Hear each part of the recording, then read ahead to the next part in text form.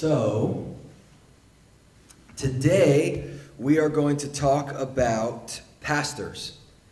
We've been talking about the fivefold ministry. Um, so today I wanted to go over the, the pastor uh, mantle and assignment um, in, the, uh, in the fivefold found in Ephesians 4. Uh, but we're not going to read out of Ephesians 4. Turn with me to John chapter 10.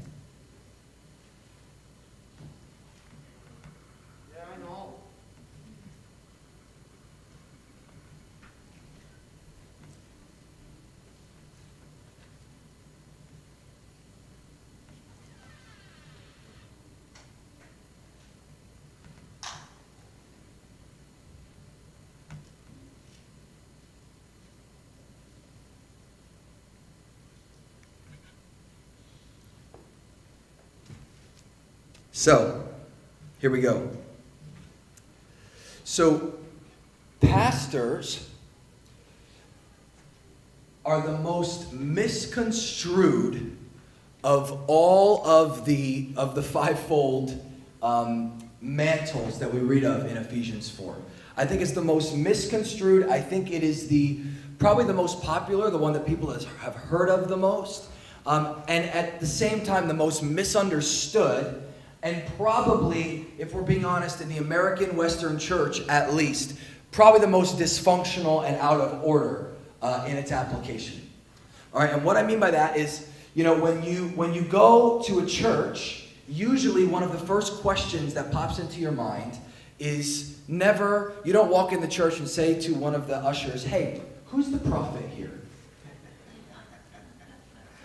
Right? In fact, that would probably be a weird question to ask. You wouldn't necessarily say, hey, who is the, uh, who's the apostle of the house? Doesn't really happen much. If you ask for the teacher, they might say, oh, you mean for Sunday school? Um, Sunday school is over at, you know, whatever, 1045, whatever. It's always who is the pastor. We have the term, the senior pastor. Um, it's a very, um, it's, it's, it's, it's a very, uh, I should say, I don't want to necessarily even say American. It's a very westernized application.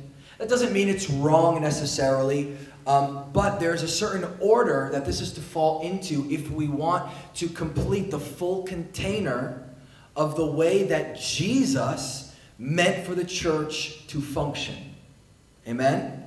So the term senior pastor is not in the Bible. It's never been there. There's the word pastor is there. Senior pastor, though, is our application. And what has really, if we're being honest, in most churches, what it has meant is it has meant who is the guy who's going to feed us all of our needs, he, we entrust him for apostolic leadership. We entrust him to hear from God and prophetic leadership. We entrust him to be our chief teacher. And we entrust him to kind of do a little bit of evangelism, maybe, and just kind of like make sure all the programs are working well. And while, again, this isn't necessarily, in, in, in, in, in itself, these are not bad assignments, but there is an order that God has ordained and I believe that in this hour of human history, guys, we've been praying for revival. We've been singing about a move of God. We've been believing for a move of God.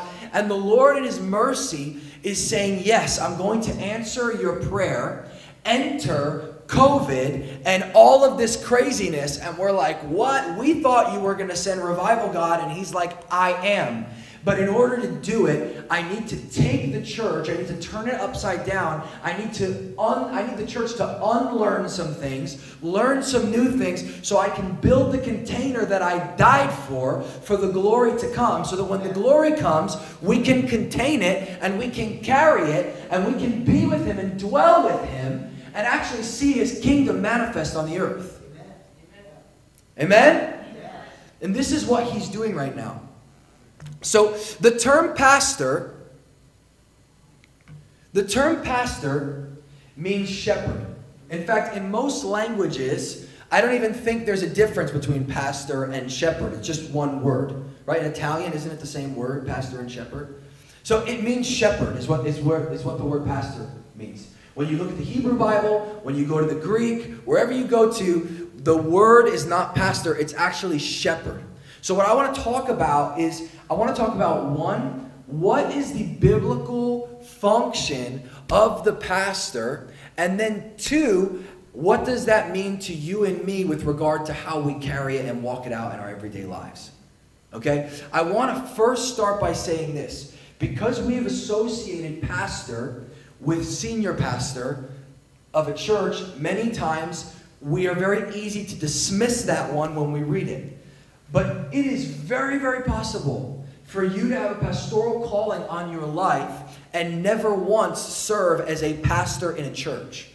You know, pastor doesn't just mean I, the guy who preaches and stands up. Some people say, I'm a little, you know, I don't do well speaking in front of crowds, I, so pastor can't be for me. And the Lord would say, no, that actually has nothing to do with it at all. Pastor is an assignment and an attitude of the heart and how we walk out in our everyday life. So I could be looking absolutely at a room full of pastors right now, even if you never intend to pastor a church. So if we're in John 10, I'm just going to read this. How many know that Jesus was the greatest pastor who ever lived? Amen. Love it. You guys are so like responsive today. This is a really easy one to preach to. Jesus is the greatest pastor who ever lived. Jesus, during his ministry, walked out all five mantles with excellence. Jesus, the apostle, raised up the 12 apostles below him and baptized in the Holy Spirit. Jesus, the evangelist, brought in a whole host with him of captives. Jesus, the teacher, taught the multitudes with excellence and with sharpness. Jesus, the prophet, uttered the things of God and walked out in signs and wonders what the Old Testament prophets would do, and even greater. And Jesus, the pastor, was the shepherd of the sheep. And he goes into this in John 10. I'm going to start with verse 2. And then we'll read all the way down to we're just going to read a bunch. I just want I want I want this to like just wash over us. So if you don't have it open, just close your eyes and receive. Starting in verse 2. But he who enters by the door is the shepherd of the sheep. To him the gatekeeper opens. The sheep hear his voice, and he calls his own sheep by name and leads them out. When he has brought out all his own, he goes before them, and the sheep follow him, for they know his voice. A stranger they will not follow, but they will flee from him, for they do not know the voice of strangers. This figure of speech Jesus used with them, but they did not understand what he was trying to say to them. So Jesus again said to them, Truly, truly, I say to you, I am the door of the sheep. All who came before me are thieves and robbers, but the sheep did not listen to them. I am the door. If anyone enters by me, he will be saved and go in and out and find pasture. The thief comes only to steal and kill and destroy. I came that they may have life and have it abundantly. Who's they? The sheep. I am the good shepherd. Literally, he's saying, I am the good pastor. I am the good shepherd. The good shepherd lays down his life for the sheep. He who is a hired hand and not a shepherd, who does not own the sheep, sees the wolf coming and sees the sheep and flees, and the wolf snatches them and scatters them. He flees because he is a hired hand and cares nothing for the sheep. I am the good shepherd. I know my own, and my own know me.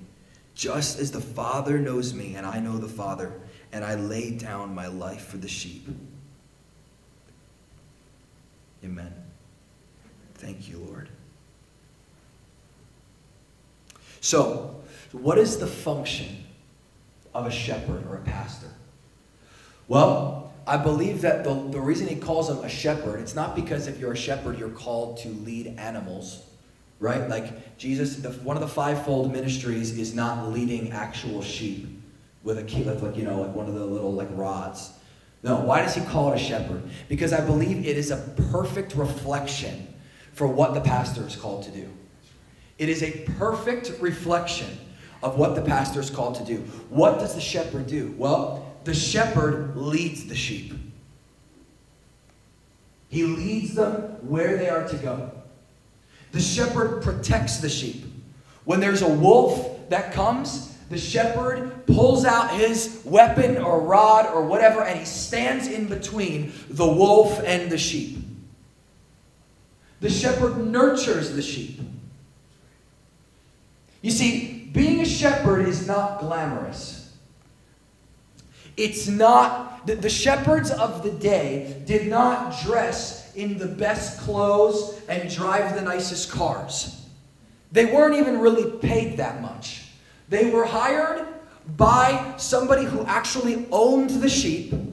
In some cases, they owned the sheep, but in most cases, I imagine the sheep were owned by a rich guy who had livestock. And then what he would do is he would hire a shepherd, and the shepherd would even live amongst the sheep. He would basically say, I want you, these are my children, and I want you to take care of them, essentially. And day in and day out, the shepherd would clip their nails. He would, he would, he would bring, you know, he would cut the wool off of them. In fact, the, he would anoint their head with oil because what would often happen was this is a really cool you know in psalm 23 we, we hear the lord is my shepherd i shall not want he makes me lie down in green pastures he leads me beside still waters and, and, and at some point he says he anoints my head with oil why does he do that because what would happen and i think we've probably said this here before my dad's probably said it is that the, that flies which carried disease and would multiply and all this stuff they would literally torment the sheep. They would find their way into the sheep's like wool and hang out in there. And in many times, what they would do is they would literally fly into the sheep's ears and they would lay eggs in there. And it would drive the sheep's insane. It was irritating. It was, it was, uh, it was painful. And sometimes the sheep would even, I've heard that the sheep would even go mad and run themselves into rocks run their, their heads into rocks just to try to get rid of the pain of what was being bred inside their heads. So, what the shepherd would do is he would anoint the sheep's head with oil, and the oil would flow into the ears and outside the ears. And between the thickness of it, it would, it would, it would make it a protective coating, and the smell would keep the flies away. That'll, that, that's a message for a whole other day. So the shepherd was responsible to tend to the sheep every day, day in, day out. The dirty work, cleaning up after them. In fact, David says in Psalm 23, he says, Your rod and your staff, they comfort me. Why does he say that? You see, the rod and the staff represented discipline. So when the shepherd was leading the sheep, when the sheep would go off on the wrong path, the shepherd's rod would strike them, wouldn't abuse them, but there was a little bit of the discipline there so that they learned to stay inside where the staff was and where the rod was. They, they learned to follow the shepherd. It was the dirty work. You had to train the sheep. When the lamb is born, it doesn't know where to go. It's born, it's great, it's cute, but it doesn't know what to do. The shepherd needed to literally raise it And the sheep learned to be comforted by the sight even of the staff, because they knew as long as we follow the staff, we'll be going in the right direction. What else happened? Jesus said, what good, he, he says, what does a good shepherd do? If you have a hundred sheep and one of them runs off, the shepherd actually leaves the 99 behind in order to go get the one. Why did he say that? Because it spoke even to the, it spoke even to the individuality of the fact that the shepherd knew every single sheep in his flock. There was relationship there. It wasn't a matter of, oh, well, you know, Bob died, Bob the sheep, he died. And well, but it's okay, at least I have 99 more. No, he grieved over Bob. He loved Bob. He ran after Bob. But what does this all tie into? Jesus says something in John 10 that we just read that I think speaks to the greatest part of the responsibility of the shepherd. He said, My sheep hear my voice, and the voice of a stranger they will not follow. What does that mean? Because of the day in and day out clipping of the nails and trimming of the wool and striking with the rod and anointing with oil and the tender growth, because of that history, what it resulted in was a connection and a relationship between the sheep and the shepherd, where the sheep literally would only follow the voice of the shepherd. Meaning, if the shepherd said, Run into that thorn bush, and a stranger said, Run into that open pasture, the sheep would walk into the thorn bush because it trusted the voice of the shepherd before it trusted the voice of a stranger. Why? Because the history behind that voice taught the sheep, it anchored something in the sheep that I can trust this voice. You see, the pastor and his role is rooted in relationship. The pastor's role is not rooted in preaching. The pastor's role is not rooted in building the ministry. The pastor's role is not rooted in hearing God on behalf of the people. The pastor's role is in taking the baby lambs and raising them day in and day out, cultivating a relationship, cultivating the place so that the actual, the sheep actually feel comfortable, and I don't even like the word comfortable, safe, where the sheep feels safe and trusting himself to the shepherd. Where the people actually feel like there has been there is there's been relationship here where i actually feel safe in trusting myself to the leadership of another.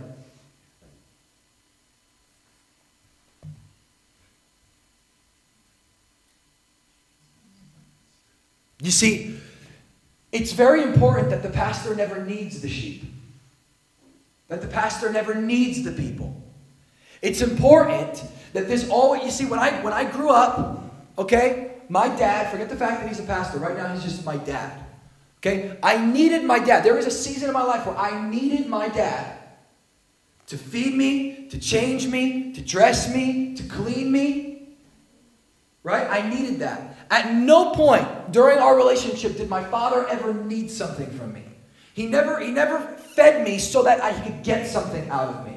He never clothed me so that he could get something out of me. It was always, he was committed to me for me.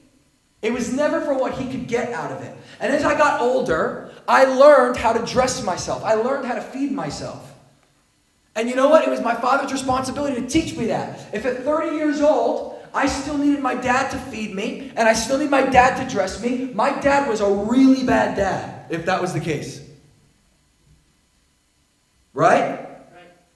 But because of me, because of what was good for me, he sowed into my life.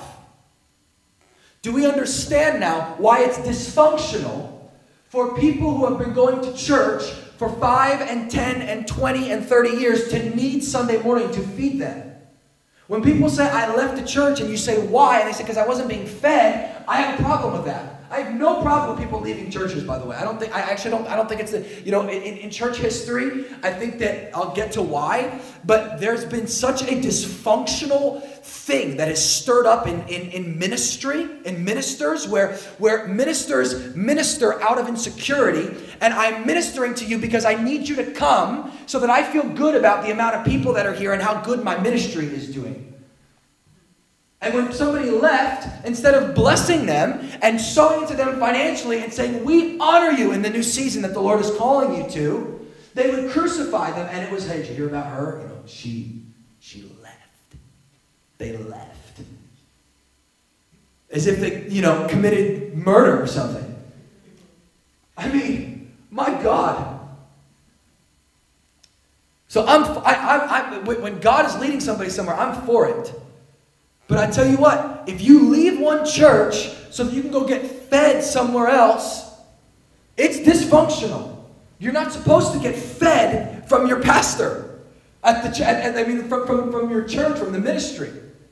Amen? Can we can we learn here? But the pastor is the one that teaches you to eat for yourself. So there's a season where the pastor feeds you. Right? And then there's a season where you show up for meal and there's utensils in front of you. And he says, and you said, I thought you were doing the whole train thing. Open up your mouth, the train's coming. Say, nope, no train today, buddy. There's a spoon right next to that food. There's a fork right next to that food. Pick it up. But I, I like the train. The train's easy. No more train. Now you're going to pick it up. Okay. You pick it up. Okay, now stick it in here. Do that. And what happens? As you do, now you've, you've cultivated something.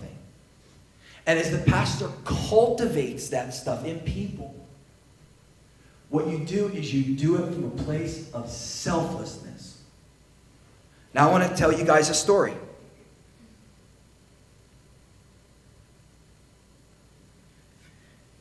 Before I tell you the story, I want to, I'll, I'll segue by saying this. It's very important Turn your neighbor and say, very important. It is very important. This is the key to a pastor staying in a healthy relationship with the sheep. It is very important that the pastor stay and be submitted to an apostolic and a prophetic leadership team. It is very important that the pastor stay submitted to an apostolic and a prophetic ministry team or oversight team. Why? Because what do we learn about the apostle? The apostle is receiving vision from the Lord. They're receiving the burning from God. They're setting things into motion. The prophet is seeing what God is doing. They're, they're, they're receiving the word of the Lord and they're, and they're, they're speaking to the apostles, and the apostles are networking and building the systems. They're executing that which the prophet has seen. They're putting everything into motion, right? And that comes from the heart of God. The heart of God is for people, not for, not for my ego, not for the ego of the church, the ego of the ministry team.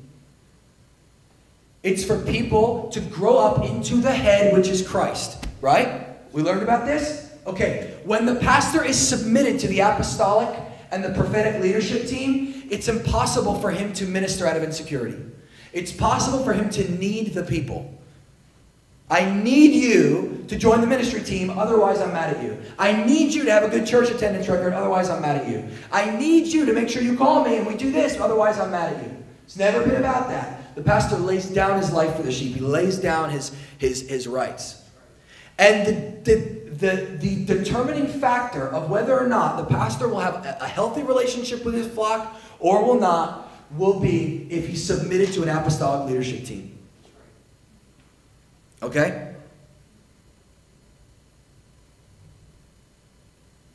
Because if he does that, he's following another. He's literally walking out what he is teaching his sheep to do, which is submit yourself to a higher form of authority.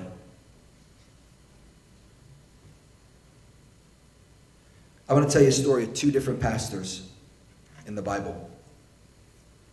One of them that was committed to the people and broke the leadership with the apostle and the prophet. And one who was submitted to the apostolic and the prophetic. First one was a man named Saul. He was the first king of Israel. He was anointed by the prophet, and back then the prophet that the apostle had not come forth yet. So the prophet was walking in the apostolic and the prophetic mantle together. And it was the prophet Samuel. Okay? Saul was anointed king over the people of Israel. He was literally anointed to be their shepherd.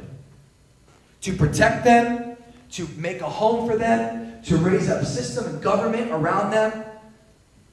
He was anointed by God. He was not some guy who was just trying to reach through the ladder. He actually was anointed by God.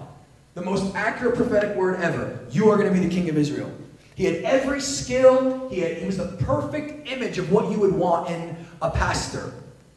Maybe he had the nice suit, really good communicator, okay? Looked really great on the campaign posters, kissed babies, you know, did all that stuff. He was a really, he was really good on the surface. But what ended up happening was his heart broke agreement with submission to a higher authority. And he was no longer trustworthy to lead the people because he was his ego was fed by his authority that he had over the people.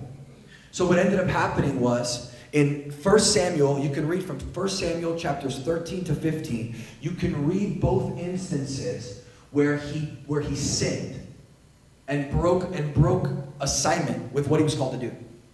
The first time was when he he lived the sacrifice was the first time. Sacrifice was first. Where Samuel told him to wait to bring the people out and to wait for him to arrive so that he could light the sacrifice. But after seven days, Samuel still hadn't showed up yet. So Saul saw the people in front of him and he, he saw them starting to grumble. He saw them not being super happy in the church meeting with the way the chairs were situated or with the way the paint colors were or with the way the songs that the worship team was singing. And he said, You know what? He said, I'm gonna, I need to make the people happy. Otherwise, they're not gonna like me as much. They're not gonna revere me as much. They're not gonna bring me gifts on Pastor Appreciation Sunday. And I really, I, I, I need that. I need the people to like me. So he lit the sacrifice. And right when he lit the sacrifice, when he wasn't supposed to, Samuel came and said, What did you do? And he said, The people were getting frustrated. And Samuel said, Well, unfortunately, you weren't called to follow the people, you were called to follow God. And then a little bit later, God gave him another assignment. God said, Go into this, this, um, this kingdom, this wicked kingdom, and I want you to kill everyone and everything. Everyone and everything. Don't bring anything back. Don't bring anything into our camp. We want everyone and everything to be destroyed. And he said, Okay. And he went in and he killed everyone and everything that didn't cost him anything but the riches and the good livestock he kept for himself. And then instead of killing the king like he was supposed to, he brought the king into captivity so that he could show off to all the people what he did. What they would do back then is if you were to capture a kingdom, you would keep the king in like a cage and like basically he was like a trophy to you. It, was, it was a pride thing to show, look what I did. I took this massively powerful king and I, I've, he's submitted to me now. He's in a cage. Because Saul wanted the credit of the people. And Samuel came and said, What did you do? You disobeyed the Lord. He said, And you know what? Because your heart is gone and is far from God, he says, The Lord is taking the kingdom from you.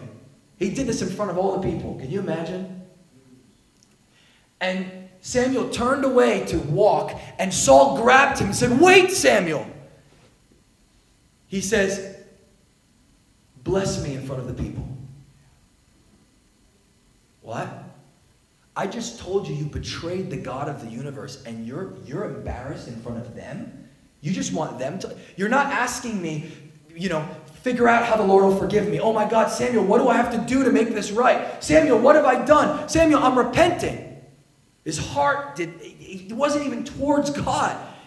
His whole, if you asked him right there, what's the worst thing that just happened here? It wasn't God is no longer pleased with me. It was the people are no, they no longer look at me. They don't, they don't look up to me anymore. Why? Because he broke agreement with the prophetic and the apostolic voice in his life. That's right. He let the people get to his head. And then the second king, what Samuel said there in that episode is he said, You know what, Saul? He said, The Lord has taken the kingdom away from you and he's given it to someone who's better than you. Enter 17 year old, short, freckle faced, red headed David who was a shepherd. God found a shepherd after his own heart and anointed him king and raised him up and placed him in a palace. And you know what? David became very, very famous, just like Saul. All the ladies wanted to go out on a date with him. He had all the money he could ever want. He was a warrior. The, the Bible says that the, the crowds would cheer with, like, they'd make cheers with his name. Like, I mean, you know, you hear people, USA. Yeah, I mean, imagine like a whole crowd just like chanting, like, David, David, Ken, Ken, King Ken. You know, like, I mean, like, this, this was there. David had every opportunity, just like Saul did, to let this stuff go to his head. And you know what? At one point, he did. There was a day where David committed pretty much every bad sin you could ever imagine. He just put it in one conglomerate. He, he committed adultery and killed the woman's husband that he committed adultery with and impregnated her and then tried to lie about it. And the guy actually was one of his closest friends. I mean, just like the ultimate, like, you can make a soap opera. I mean, the fact that they've not made a soap opera about this story is beyond me. It would, it would sell millions of dollars. And then what happened? The prophet in his life at this point was Nathan. Samuel was dead. Nathan the prophet walked into David's palace one day and said, David, you sinned before the Lord. You chose your own desires over the desires of God. And he rebuked him just like Samuel rebuked Saul. Only this time, this is in 2 Samuel chapter 12. Only this time, David didn't grab Nathan and say, Oh no, is the kingdom going to get taken from me? He didn't say, Oh no, is the ministry going to get taken from me? Oh no, am I going to have to sit for six months of restoration before I can preach again? The Bible says David looked at Nathan and he said, I've sinned before the Lord. You see, the fact that, that David had a, had a heart after the heart of God was manifest not because he was perfect, but because when he made a mistake, the cry of his heart was, God, I just want to be pleasing to you again. God, I just want to get back into alignment with where you called me. And then you know what happened? This, is, this verse makes me cry. Before David could even say, I'm sorry, Nathan said, You know what, David? The Lord has put away your sin. You won't die. You see, God saw the cry, and He said, he, beyond the weakness, beyond the failure, God saw the cry in David's heart that he just wanted to please Him. And because of that, He didn't give David what he deserved. Because God defines us not by our weakness, but by the cry in our spirit. Isn't that amazing? God doesn't define me by my weakness. He defines me by the cry of my spirit. Man looks at the outward appearance, but God looks at the heart.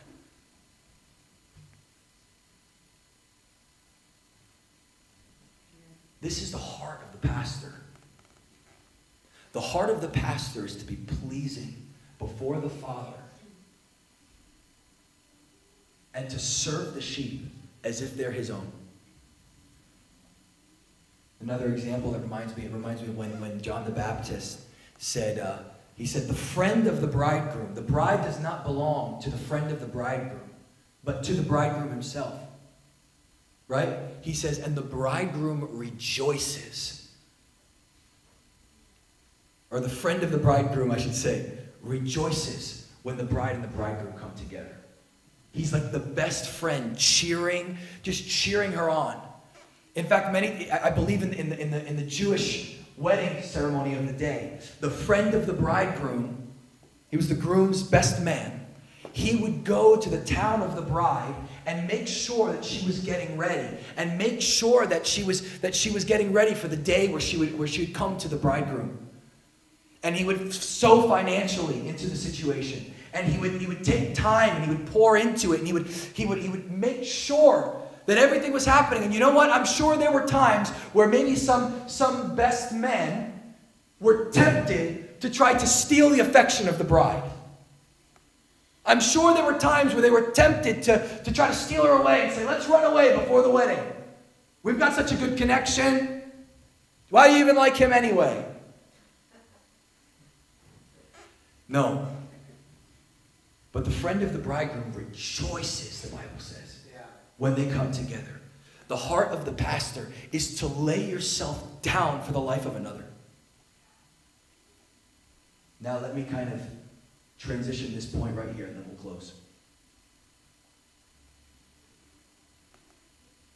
The call to pastorship is a call to discipleship.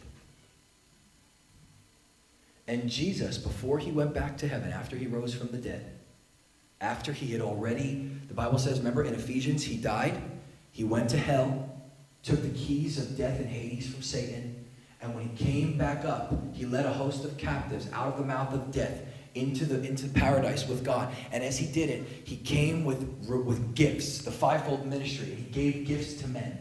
And after that, he rose in the tomb, walked out, did miracles among men before he ascended to the Father. And right during that time, after he had already won everything, from the place of kingship, he looked at his people and he said, Go and make disciples of all nations, baptizing them in the name of the Father, Son, and the Holy Spirit.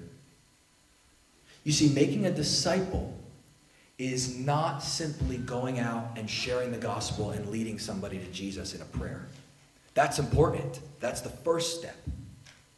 But I tell you what, if the shepherd gave birth to the lamb and then just left the lamb there and walked away and left it for dead, that lamb would die. That's not what Jesus called us to do. He says, make disciples of all nations. Let me go and say it like this Make disciples of all spheres of society. Make disciples in your family. Make disciples at school. Make disciples on your campuses and at your workplaces and in your clubs, your places of community. Turn to your neighbor, say, I am a pastor. I am a pastor. Say it. I am, a pastor. That's right. Now start calling each other pastor. No, I'm kidding.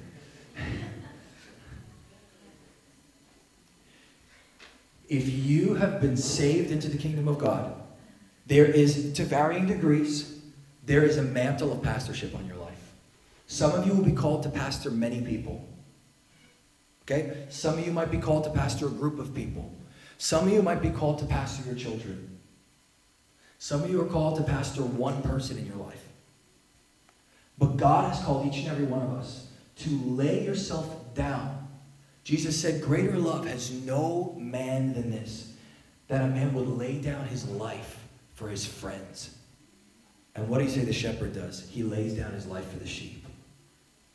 I legitimately want to ask you this question. Maybe some of you guys, your, you know, your kids are older. Maybe some of you have little kids. Maybe some of you have in between kids. Maybe some of you don't have any kids. Who can you pastor right now in your life? Who can you identify and say, you know what? This person, I just, I want to give myself. And however way I can. It doesn't have to even be an everyday thing or an every week thing. But I want to I want to hop on a Zoom call with this person once a month and have Bible study with them and just pour into them. I want to I want to jump on a phone call once a week and have a 30 minute prayer meeting or a 10 minute prayer meeting with this person. And I want this relationship. Whatever that person decides to give me is awesome. But I'm not in this relationship for the dualism of it. I'm in this relationship for what I can give to this person. Meaning, if this person never, if I always have to be the initiator, this person never calls me, ever. If I always have to be the one to do it, if this person never responds to me, never even appreciates me, I'm going to lay down my life for them. And I'm going to be what the Lord called me to be to them. I'm going to, I'm going to, I'm going to help them come forth. And if that means they're going to bear fruit that another would be able to eat from, well, I rejoice. Why? Because the friend of the bridegroom rejoices when the bride and the bridegroom come together. Amen? Let's all stand.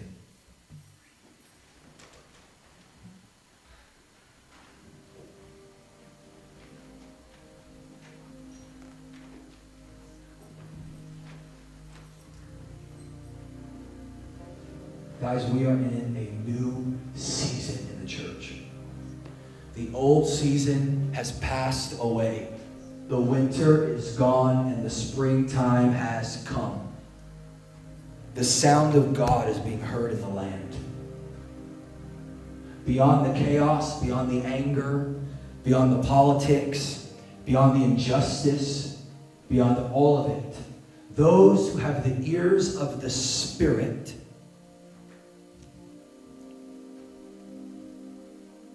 are listening for the voice of the shepherd, the great shepherd, the shepherd who lays his life down for the sheep.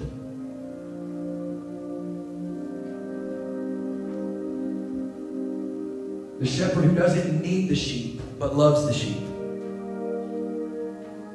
If I need you, I can never love you. If you need me, you can never love me. God is raising up shepherds in this hour.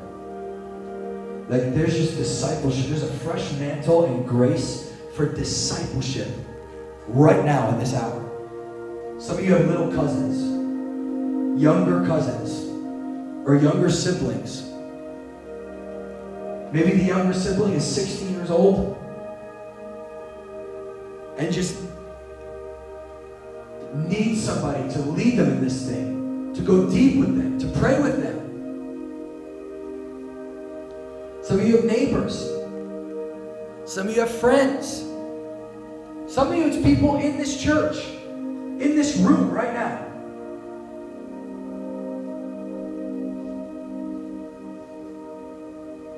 You know, the Bible says Paul wrote, I believe, to Timothy. Might have been to somebody else. But he wrote, he said, You know, you have many teachers, but few fathers. You have many people that are willing to take a, a service and teach something. You have many people that are willing to take an opportunity and a platform to gain the eyes of people. But you know, you don't have People who are willing to lay themselves down for something that has nothing in it for them. For the sake of another. Every single one of you, I don't care if you've known Jesus for five minutes, you have the ability to pastor someone, to lead someone,